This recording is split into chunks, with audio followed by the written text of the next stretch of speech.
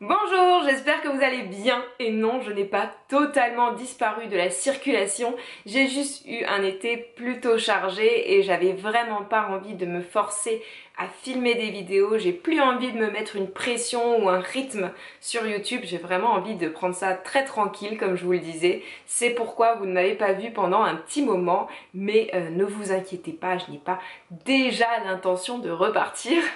Et je suis donc de retour pour vous présenter quelques-unes de mes dernières lectures. Il y a quelques BD, quelques romans et surtout de très très belles découvertes. On va commencer avec les livres que j'ai en ma possession puisqu'il y a beaucoup de mes dernières lectures que j'ai empruntées à la médiathèque où je travaille et du coup on va commencer par ceux que j'ai sous la main. Il y a tout d'abord ceci qui s'appelle Mes ruptures... J'ai un cheveu dans l'œil. Mes ruptures avec Lauradine de Mariko Tamaki et Rosemary Valero O'Connell chez Rue de Sèvres. C'est l'histoire de Frédérica qui est éperdument amoureuse de Lauradine. Lauradine est une fille plutôt populaire qui aime bien être le centre de l'intérêt. Malheureusement, elle n'est vraiment pas très gentille avec Frédérica puisqu'elle la trahit énormément, elle lui ment beaucoup, elle la manipule, elle a tendance à la jeter pour finalement revenir vers elle. On est donc sur une relation plutôt malsaine et qui ne rend clairement pas heureuse Freddy.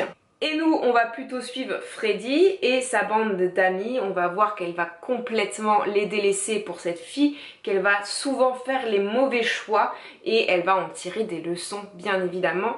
C'est une BD, euh, plutôt roman graphique d'ailleurs, qui traite très très bien de cette période de, qui est l'adolescence et qui est extrêmement complexe qui aborde des sujets et des thématiques vraiment d'actualité. C'est très sympa, très, touchant et très frais. J'ai beaucoup beaucoup aimé et j'ai particulièrement aimé l'esthétique puisque euh, en fait à l'intérieur c'est tout en noir et blanc. Alors là je suis bien sûr tombée sur une plage exclusivement en noir et blanc mais euh, vous voyez comme ceci avec des petites touches de rose c'est très très joli j'ai beaucoup beaucoup apprécié les dessins un peu moins la police d'écriture choisie même si je sais que euh, ça aide les dyslexiques arrivent mieux à la lire mais euh, je trouve pas ça très esthétique, ça gâche un petit peu le truc.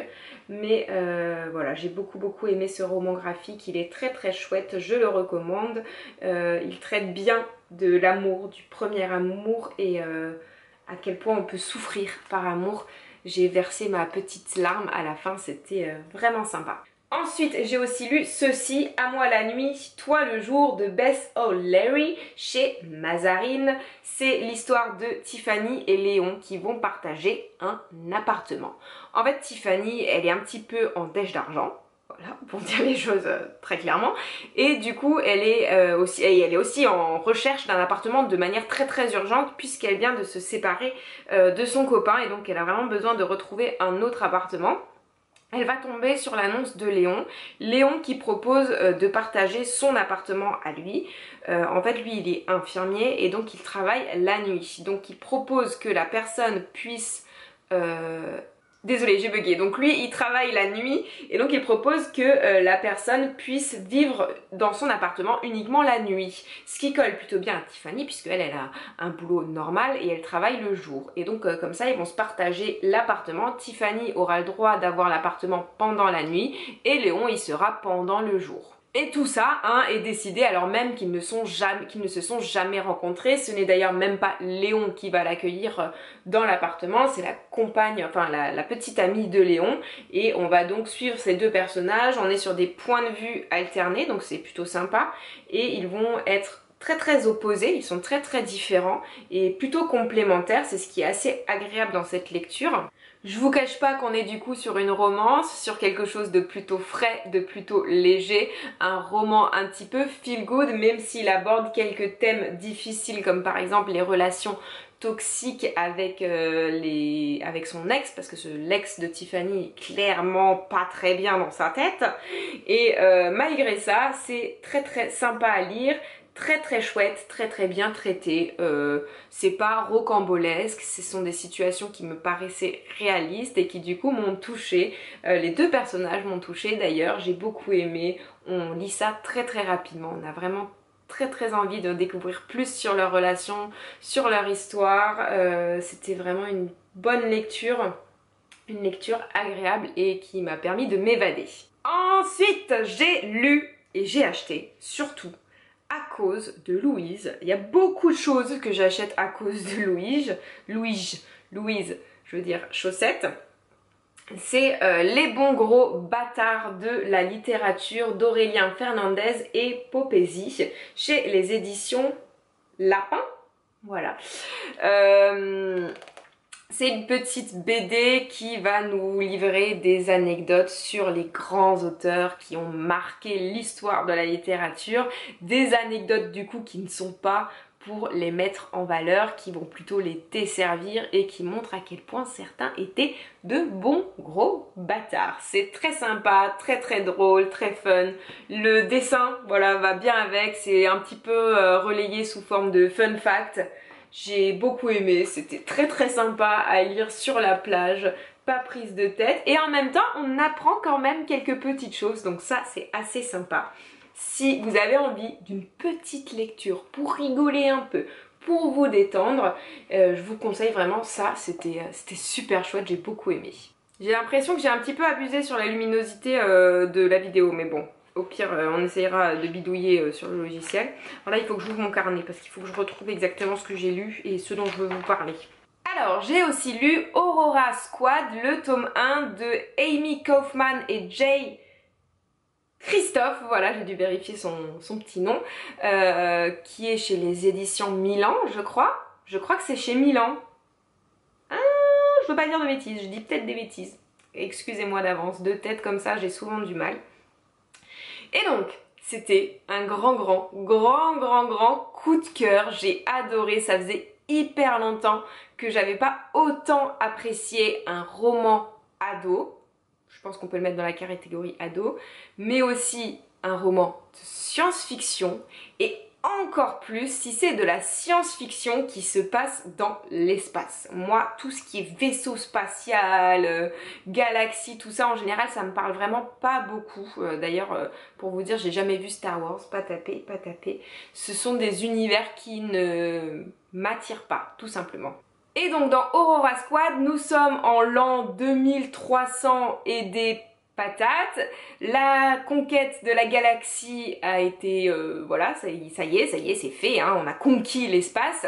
Et nous allons suivre l'escadron de Tyler, un escadron un petit peu particulier, c'est un petit peu une équipe de euh, rebelles, de marginaux, euh, ils sont tous, ce sont que des personnages hauts en couleur et leur toute première mission ne va pas vraiment se passer comme prévu puisqu'ils vont se retrouver à devoir protéger Aurora, une jeune fille mystérieuse qui a été cryogénisée, c'est un mot très compliqué, pendant euh, plusieurs centaines d'années et euh, qui est aujourd'hui pourchassée. On ne sait pas bien pourquoi au début, mais elle est pourchassée et du coup, euh, voilà, eux ils vont se retrouver à se mettre tous les, toutes les organisations euh, intergalactiques à dos pour protéger cette demoiselle. Et je peux vous dire que c'est un roman où il se passe beaucoup, beaucoup, beaucoup de choses. Il y a énormément d'actions. On a toujours envie de tourner les pages, de savoir ce qui va se passer, d'en apprendre plus aussi sur la galaxie, sur les organisations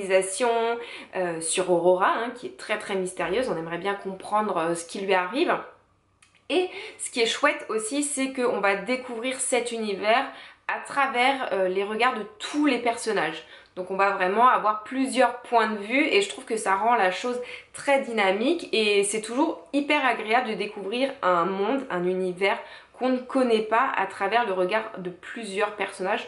Je trouve ça toujours très pertinent et très agréable pour le lecteur en tout cas. Et voilà, j'ai tout simplement beaucoup aimé. Il me tarde de lire le tome 2, je crois qu'il est prévu pour 2021 en France.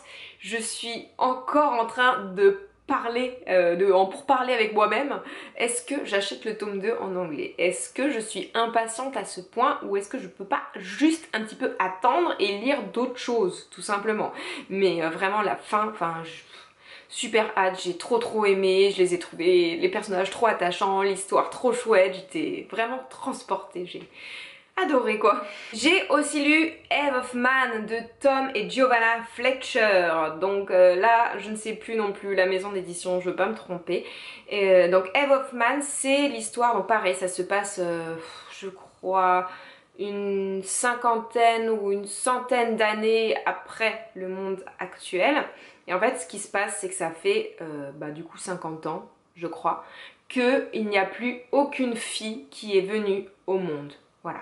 Les femmes euh, tombent enceintes, font des bébés, mais ce ne sont que des garçons. Il n'y a plus de filles qui viennent.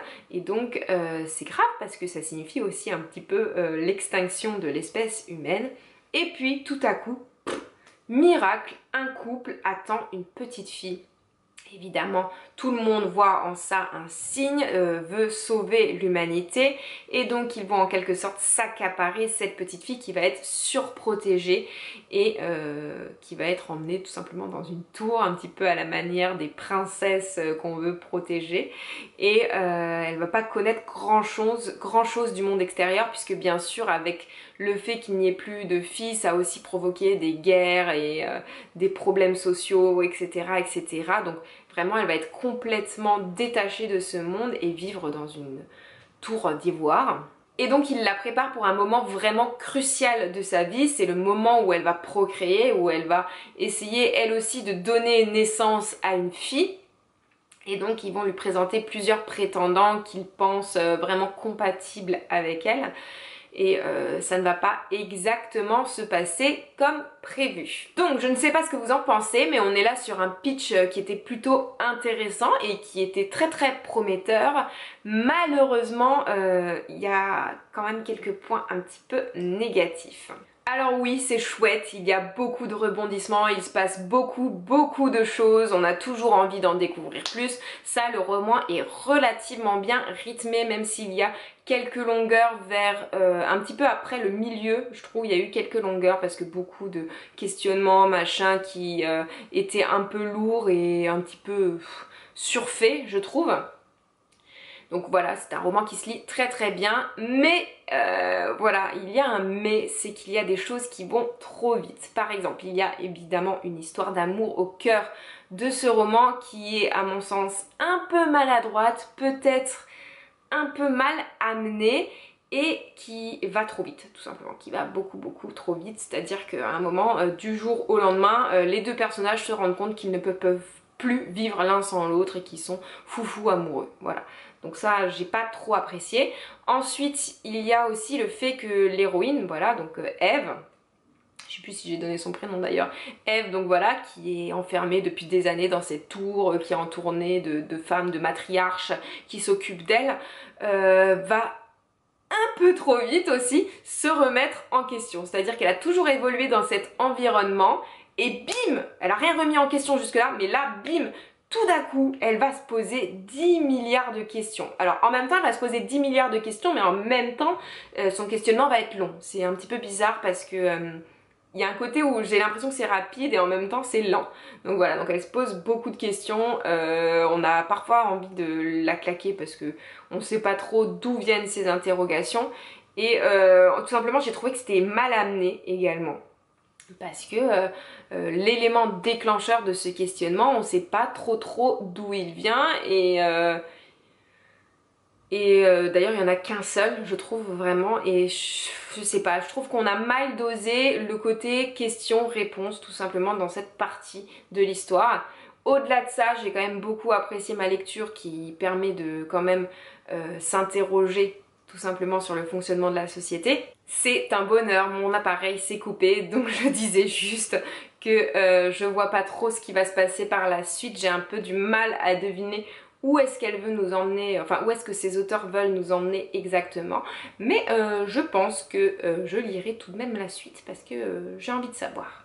Ensuite, j'ai lu La vie hantée d'Anya de Vera Brosgol, qui est une chouette, un chouette roman graphique plutôt pour les adolescents. Alors c'est l'histoire d'Anya qui est une jeune émigrée russe qui est là depuis quand même quelques années aux États-Unis mais qui, a encore, a encore quelques difficultés à s'intégrer et qui cherche sa place clairement. Suite à un accident un peu euh, malencontreux, malencontreux, elle va euh, tomber au fond d'un trou et rencontrer un fantôme et ce fantôme va quelque part se lier à elle et la suivre. Si au début ce fantôme va vraiment lui prêter assistance, l'aider et l'accompagner, il va vite se révéler euh, plus toxique qu'il n'y paraît et plus malveillant. C'est là qu'on va basculer peu un petit peu, euh, un petit peu dans la terreur, dans le côté un petit peu frisson de la BD. Et donc on est plutôt sur un récit initiatique puisque à travers cette expérience, Anya va évoluer, elle va grandir et elle va comprendre ce qui est vraiment important dans la vie, euh, donc c'est-à-dire la famille, les amis et évidemment beaucoup moins les apparences. Les personnages sont attachants, les thèmes très bien traités, autant celui de l'adolescence que celui de euh, l'intégration. J'ai même regretté de ne pas être restée un peu plus longtemps dans cette histoire. J'aimais beaucoup l'ambiance, j'aimais beaucoup les dessins et j'aimais beaucoup Anya. J'avais envie d'en découvrir encore un petit peu plus, donc c'est que la BD est très chouette. Elle est euh, quand même relativement courte et elle se lit très rapidement, donc ceci explique cela. En tout cas, moi j'ai beaucoup aimé et je vous la recommande. Et enfin pour finir cette petite vidéo, j'ai aussi lu L'humain de euh, Diego Agrimbo au, scénario et Luca Varela au dessin. Tiens, c'est la seule fois où j'ai précisé... Euh, bon bref, voilà, donc c'est une BD où on est euh, très très loin dans le futur, vraiment très très loin, je ne sais plus exactement. voilà. Un biologiste, Robert, a été envoyé sur la planète Terre pour relancer la civilisation qui a disparu depuis des milliers et des milliers d'années. Seulement lorsqu'il va atterrir, il va avoir qu'une seule idée en tête, c'est de retrouver sa compagne avec qui il doit effectuer cette mission. Malheureusement, elle est arrivée déjà depuis 100 ans, ça fait, elle est arrivée 100 ans plus tôt, donc euh, bien sûr, elle n'est plus là et il va être complètement dévasté, il va complètement perdre les pédales, si je puis dire. Heureusement, il n'est pas tout seul, il va avoir avec lui Alpha, un robot qui est doté de capacités de réflexion et d'empathie et qui est chargé de veiller sur euh, la bonne santé de Robert, enfin le fait qu'il garde bien la tête sur les épaules, ce qui clairement n'est pas le cas. Du coup, Alpha, euh, on va découvrir l'histoire à travers le regard d'Alpha, on va voir la déchéance de Robert à travers ses yeux. J'ai trouvé que l'histoire était très originale, très forte, notamment par les thèmes qui sont abordés, donc c'est-à-dire la fin de la civilisation, euh, un petit peu la théorie de l'évolution aussi, le développement des intelligences artificielles. Ce sont des thèmes avec lesquels je ne suis pas vraiment familière, mais euh, c'était très intéressant et naturellement ça amené à se poser euh, pas mal de questions. Le tout est très bien rythmé, euh, il y a un juste équilibre entre les phases où on se pose des questions, les rebondissements, les actions. Bref, j'ai trouvé ça très très chouette et très intelligent, j'ai beaucoup beaucoup aimé. Et voilà, c'est tout pour cette vidéo. J'espère qu'elle vous aura plu et qu'elle vous aura donné envie de découvrir certains de ces livres. J'espère de tout mon cœur que j'ai pas abusé sur les réglages et que je ne suis pas hyper blanche en vidéo parce qu'en vrai j'ai un peu bronzé quand même. Et avant de vous quitter, je voulais juste faire un petit point Instagram. Je pense que vous l'avez remarqué, mais mon compte va progressivement passer en privé. Je crois que j'en avais parlé déjà dans l'autre vidéo. Euh, je suis en train là de supprimer les abonnés. J'ai créé un autre compte qui s'appelle Quiet Manon YTP pour YouTube et qui sera lui lié directement à ma chaîne. L'autre compte était devenu trop personnel pendant mon absence et euh, j'ai plus du tout envie de montrer autant ma vie. Donc du coup j'ai décidé de séparer les deux. J'ai désormais un compte privé et un compte qui sera lié à cette chaîne. Je vous mettrai tout en barre d'infos. Et du coup je vous dis à bientôt pour la prochaine vidéo. Bye bye